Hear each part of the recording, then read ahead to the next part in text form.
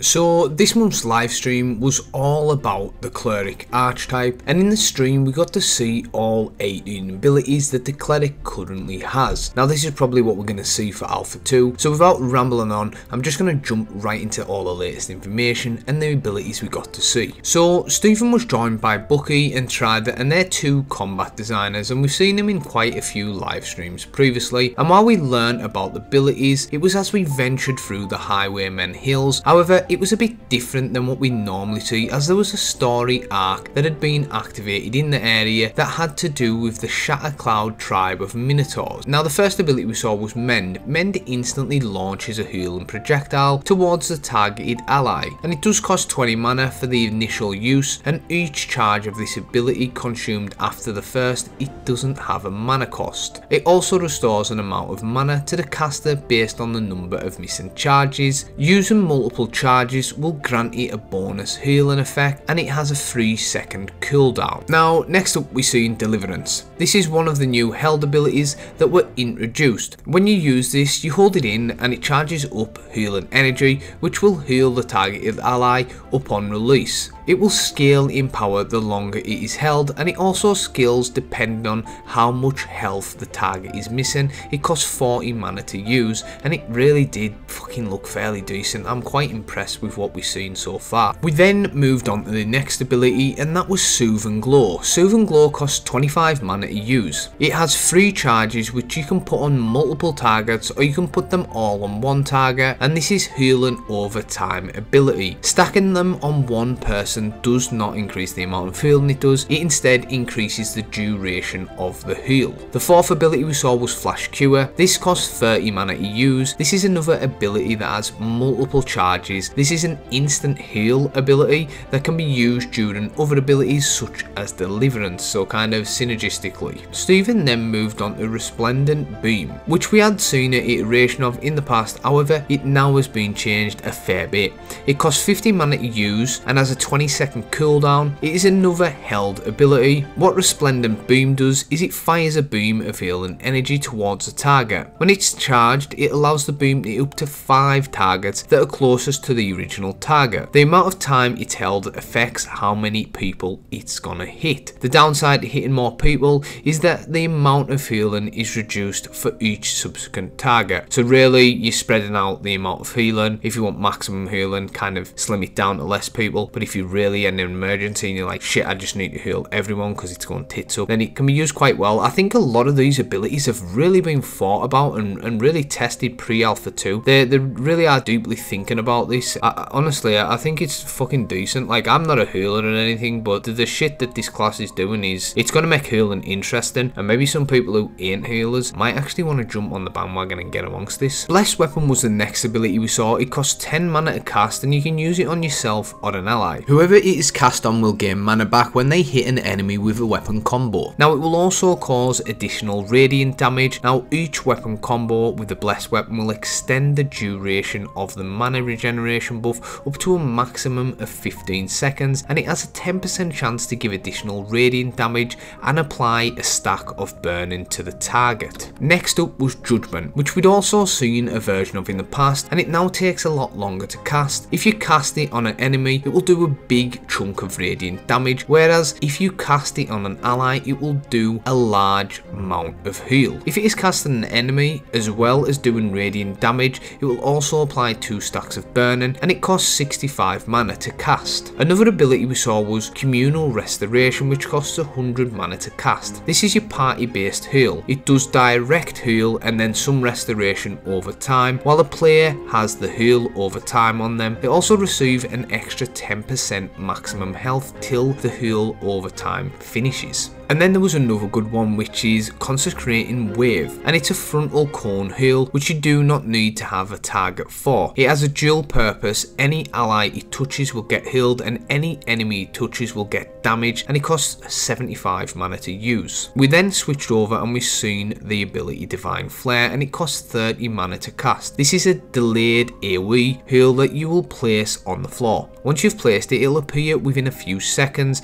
and will heal all the targets within it after a few seconds. Total healing is split between the number of people within the circle. So, I mean, as you can see so far, they really have fucking doubled down and worked on this class, and it's quite impressive to see the amount of work and effort that's going in. Now, something like this is probably the standard we're going to get for Alpha 2, and no doubt it's going to be monumentally tweaked during that lengthy process of testing. Barrier was the next one. Barrier is a typical shield spell, but rather than costing mana, you sacrifice 25% of your maximum health. Doing so will place a health shield on the target you have selected for 10 seconds. This ability doesn't stack though. Chains of Restraint is the cleric's primary AoE damage ability. It does damage over time to enemies within it. When first cast, it'll stagger enemies within it, or if they have already been staggered, it will stun them instead of staggering them. Then it'll leave behind an area of effect that does damage over time for 8 seconds and it only costs 60 mana to cast. Defiant Light was another ability, costs 75 mana to cast, and is another heal over time ability that will heal the target 50% of the maximum health over 10 seconds. Now if the target does die while this ability is locked onto them, instead of dying the effect would be consumed, which would prevent their death and would instead heal them instantly to 25% of the max health. Healing Touch is an instant cast melee heal which costs 20 mana to cast. Now the target must be melee range of the caster and it'll heal them a large amount of health. It combos really nicely with the next ability they showed which is Wings of Salvation. Now Wings of Salvation is an ability that will cause the caster to sprout phoenix like wings and leap to the ally they've targeted. Now once they've arrived at the target or the potential friend or person you're healing, it'll grant a small amount of temporary heal and it costs 30 mana to cast so that's a nice synergistic combination there and I mean there's many combinations you do within this class, it's fucking really nice to see to be fair. Another thing that's changed is clerics now have a class resource which is called Divine Power, which is the third resource bar on the cleric.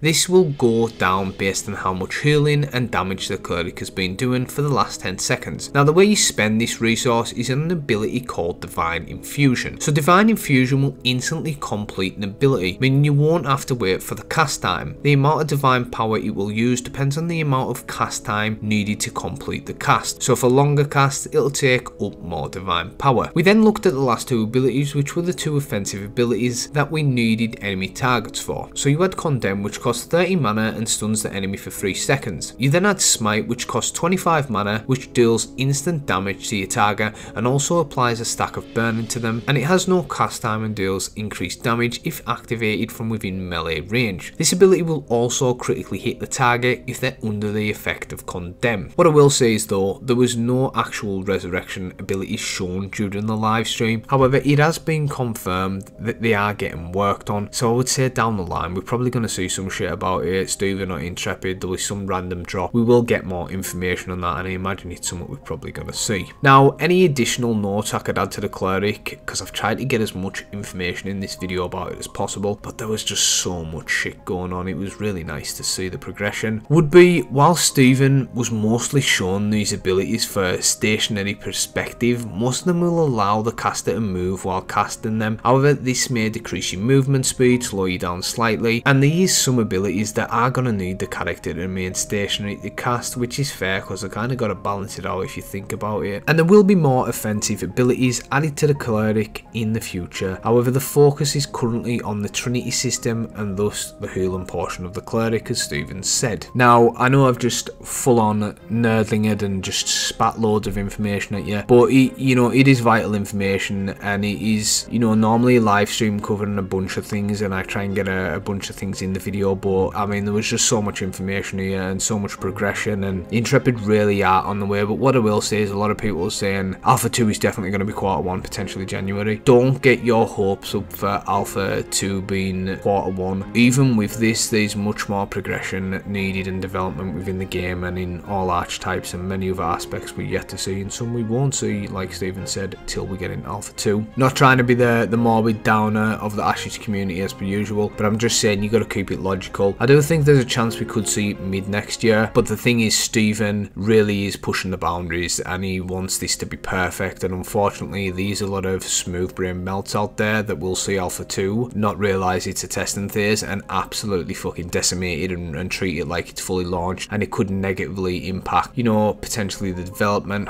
maybe not the development but you know people working on it and you know you don't want them getting down with all these idiots saying how shit it is or these bugs and whatnot, or potentially affect, you know, the view and the marketing of Ashes, even though the game isn't out, you wouldn't, you know, you think people would have a tell and understand it, but it's kind of just the way these things go. That being said, I'm super hyped for how much the game's progressed and what we're seeing. The the streams are amazing. You know, in Discord, we're watching them religiously. We're really getting involved in the conversations, and it's fun to see. And uh, so far, the journey of me following Ashes and, and seeing it develop and, you know, getting right involved and feeling like you have a say, a part in the community is, is really well done for Intrepid. So, so you've just got to kind of thank them for that and, and the effort they're putting in. But as always, really appreciate you watching the video. Let me know in the comment section below what do you think about the cleric personally. I think it's really engaging for a healer and I'm not one but I think I would check it out and I think it's got some fun balances and some fun team play. I actually think Steven showcased it really fucking well but let me know in the comment sections what you think, what you think about the development of the game. Hit that like button because it really does help get the videos out there and get more impressions from the, the algorithm gods that you know hate many smaller channels uh, and feel free to give it a share in any community and as always I really do appreciate you watching and I'll catch you in the next video. Cheers.